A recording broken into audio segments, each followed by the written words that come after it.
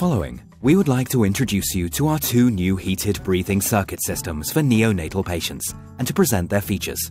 In addition, the assembly instructions for the products, with all the accessories you will need, will be demonstrated step by step. The Ventstar Helix Dual Heated Neonatal Plus is an inspiratory and expiratory heated breathing circuit system that minimizes the development of condensation in the system.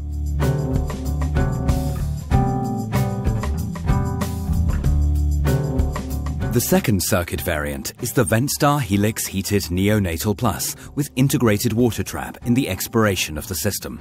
This product is designed especially for users who are accustomed to working with circuit systems that have integrated water traps, making it possible to maintain established practices, processes, and workflows.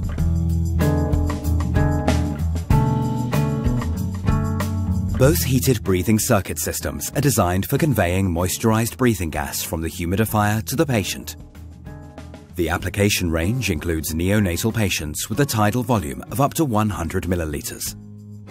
The pre-assembled products are color-coded for the user's ease of setting up and handling. Inspiration is colored blue and expiration is colored white, which makes it considerably easier to attach them correctly. The newly integrated double helix heating wire ensures consistent heat distribution, optimal conditioned air for the patient, and prevention of condensation. The humidifier chamber for premature infants has an automatic feed mechanism as an integral part of both sets and ensures a constant water level by means of an auto feed mechanism. The attuned system compatibility with our Draeger ventilators, such as the Babylog family and devices with Neo option, ensures optimal ventilation performance. Their low compliance enables both systems to support powerful and consistent high-frequency ventilation especially with the Babylog VN500 breathing device. This also means that only one breathing circuit is required for all modes of ventilation and that no additional replacement of the system is needed when changing the mode. The comfortable length of both breathing circuits and the high degree of material flexibility supports easy handling for the user. First, we will show you the setup of the Ventstar Helix Dual Heated Neonatal Plus with a Babylog VN500. Take the water chamber and unwind the water supply hose. Slide the water chamber into the MR850 until the interlocks snap into place. Connect the water supply to a sterile water source.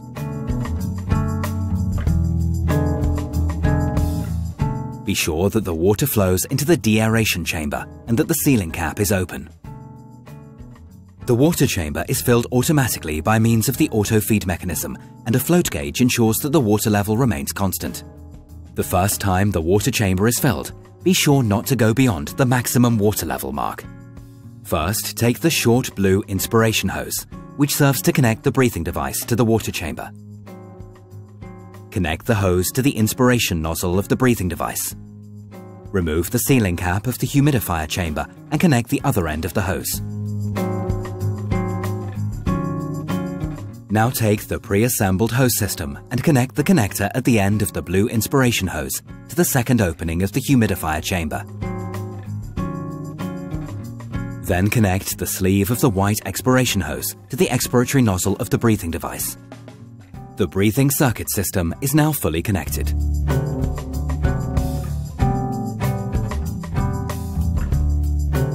In addition, there are further accessories to be connected to the humidifier and the entire system. For the next steps in the setup of connecting to the humidifier, you will need the sensor cable and the special heating cable designed for dual heated systems. First, take the heating cable and connect the yellow plug to the yellow edged port on the humidifier. The plugs on the heating cable for connection to the hose are mechanically coded, i.e. they have a distinct shape that fits into the connection port.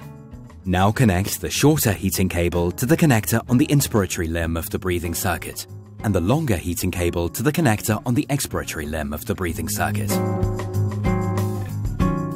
Connect the sensor cable by connecting the blue-black plug to the blue-edged connector provided for this purpose on the humidifier.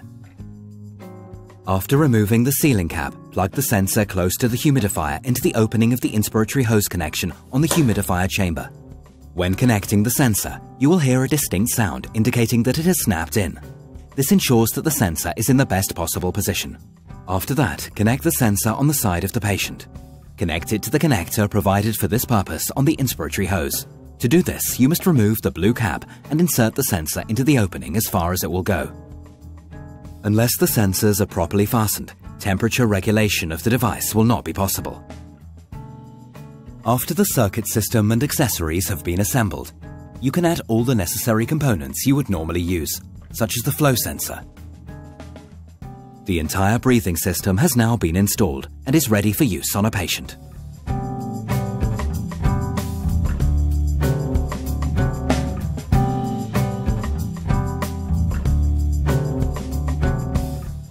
This breathing system is basically set up in exactly the same way as the previous product.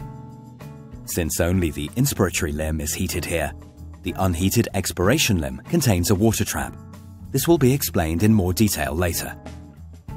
After setting up the system, you will notice that the only difference lies in the connection of the heating cable. Here there is only one connection to the inspiratory heating connector. You should now connect the sensor cable as previously demonstrated for the dual heated system and add further components to the system as required.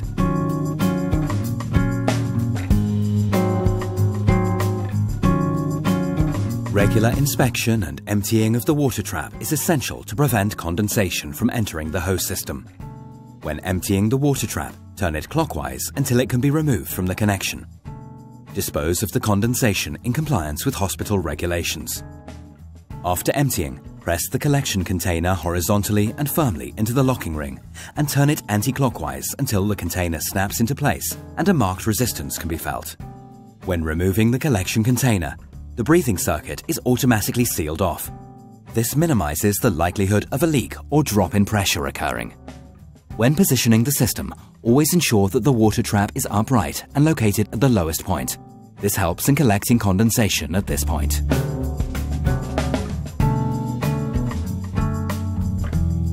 Up until now, both breathing circuit systems were connected to the Babylog VN500. When using the Ventstar dual and single heated N plus breathing circuits together with a ventilator of the Evita family with Neo mode option, an additional connector is required, which is available separately.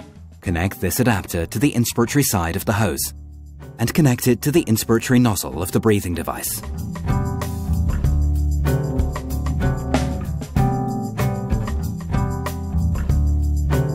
There are several variants for the proper support of a premature infant. Depending on therapy and illness, the baby may lie in a closed or open nursing bed. In regards to the hose system, please note the following. The Ventstar heated neonatal plus breathing circuits have a common hose extension, to be found in the inspiratory limb between the sensor connector and the Y-piece, which is not heated. When using an incubator with a minimum temperature of 33 degrees Celsius, it is advisable to use an extension to protect the temperature sensor from thermal interference. When positioning the sensor, make sure that it's placed outside the incubator. Otherwise, an incorrect measurement due to thermal interference may lead to a reduction in humidification. If the premature infant is lying in an open care unit or in an incubator with a temperature lower than 33 degrees Celsius, the incubator extension should be removed. This reduces additional condensation. To remove the extension from the system, disconnect the hose from the Y-piece and the temperature sensor. Now connect the sensor directly to the Y-piece.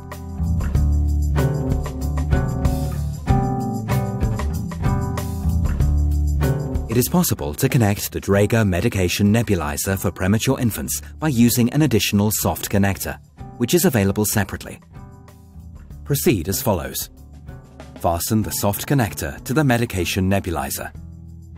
Then remove the inspiratory hose from the Y-piece and connect it to the opposite side of the nebulizer. Finally, connect the Y-piece of the system using the soft connector. Use the nebulizer according to the instructions for use.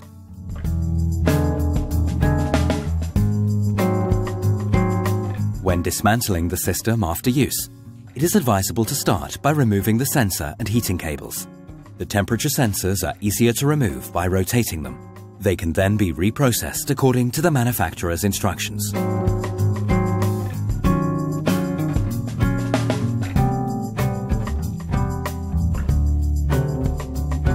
Ventstar Helix Heated Neonatal.